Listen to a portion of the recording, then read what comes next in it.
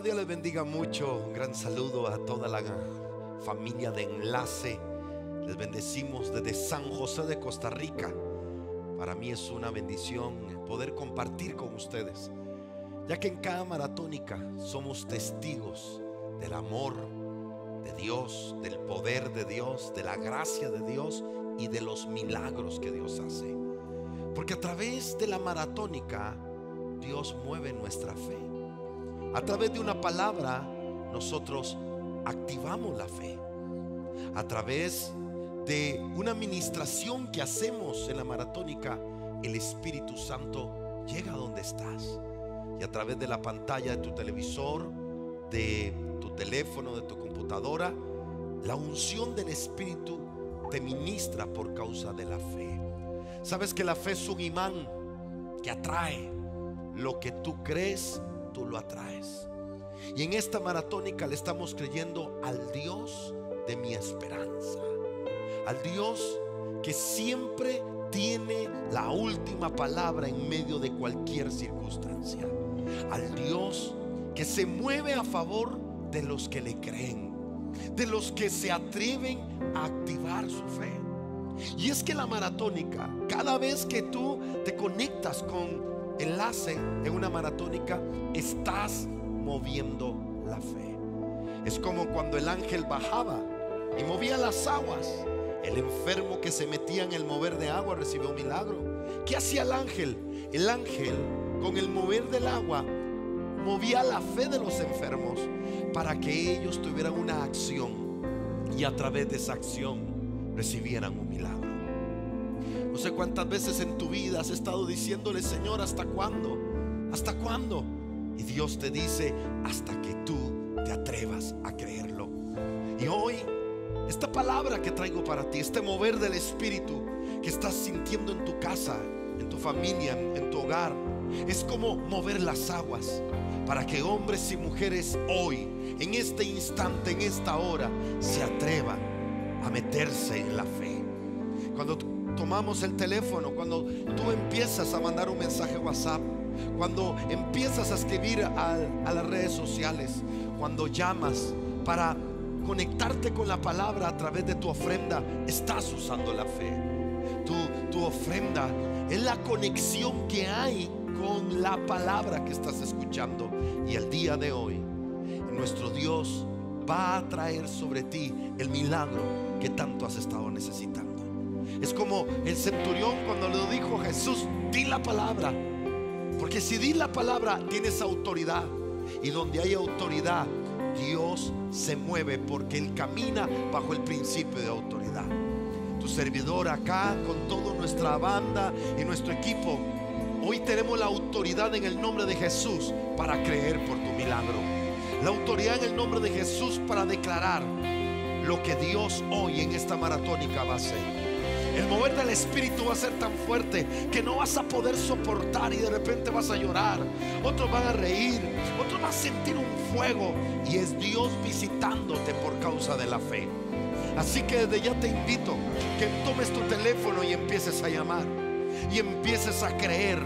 Cuando tomas el teléfono y empiezas a mover tu fe, el cielo se empieza a alinear a donde tú te encuentras.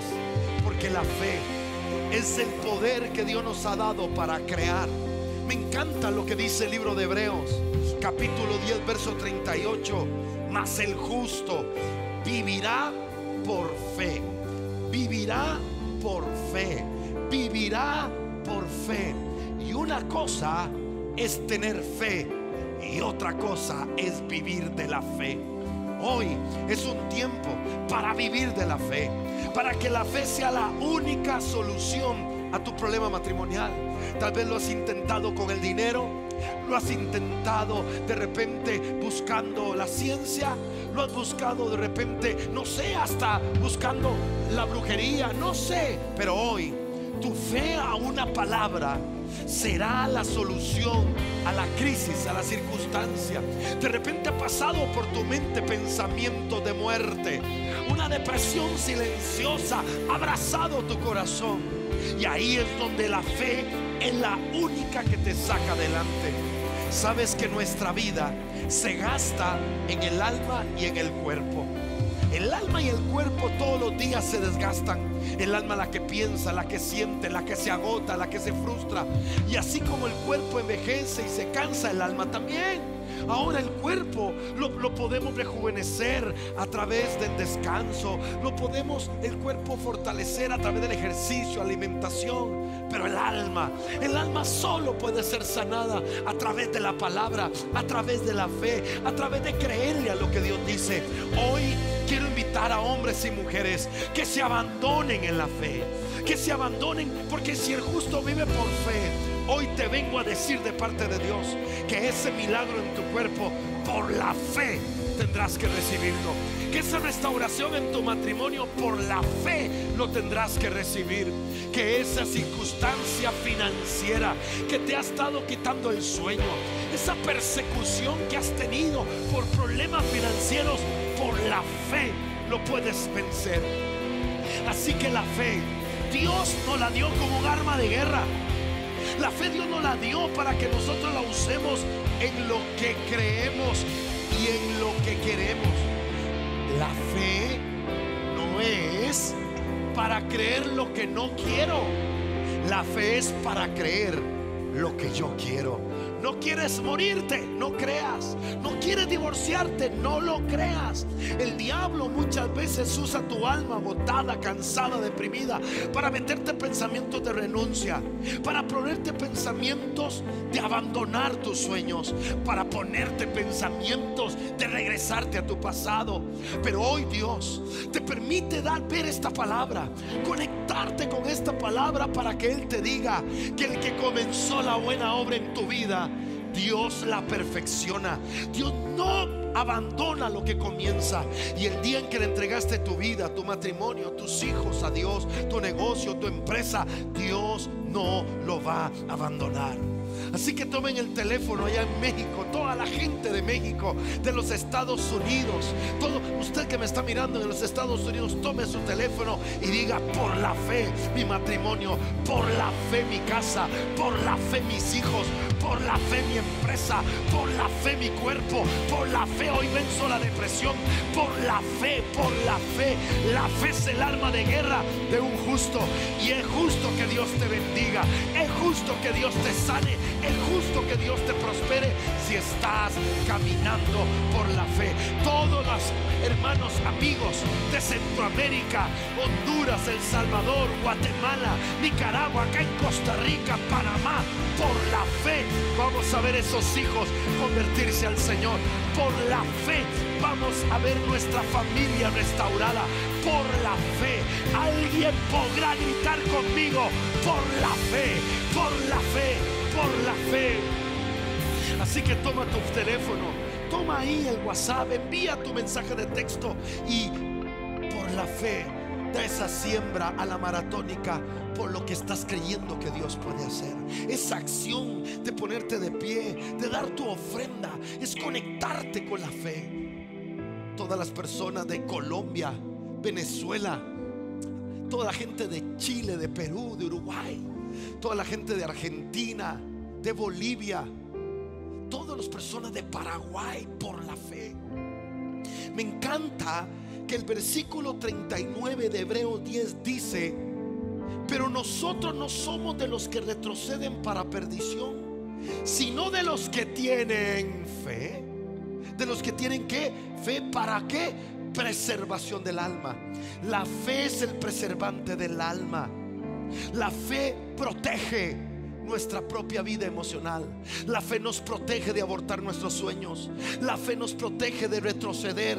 La fe nos protege de perdernos en el pecado, de perdernos en la depresión, de perdernos en el temor.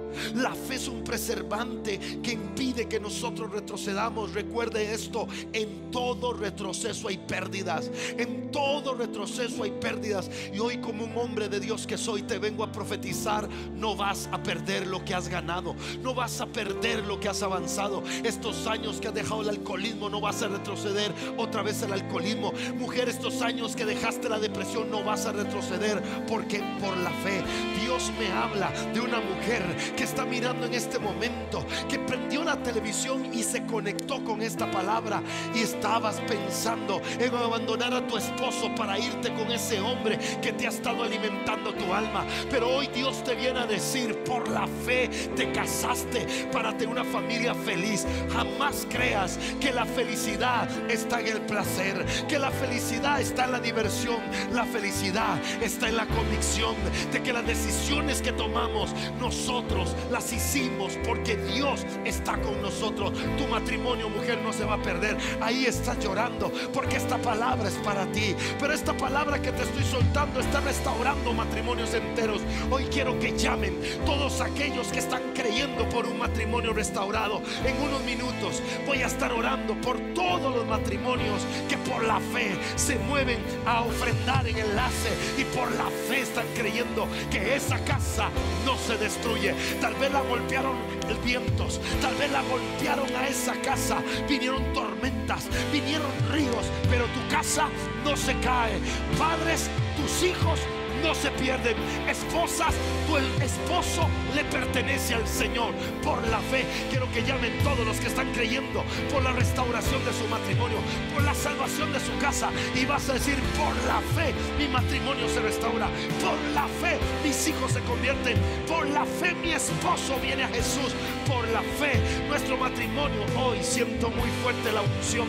Dios me habla de matrimonios que han abandonado el ministerio, que se enfriaron por problemas en la iglesia, que se enfriaron por problemas en el mismo hogar, pero no perderás tu matrimonio. Mírame, te profetizo en el nombre de Jesús, no perderás tu matrimonio y no perderás el ministerio que Dios te ha dado. Y tal vez dirás, hey pastor, cometí un grave pecado, cometí un grave error. Te tengo una buena noticia, la sangre del Cordero de, de Dios derramó en la cruz para perdonarte para restaurarte. Para ti fue una sorpresa tu error, pero para Dios es parte de un propósito eterno que Él tiene contigo. Por la fe, Pedro a pesar de su error, por la fe Dios usó ese error. Por la fe a pesar del error de David, Dios usó ese error.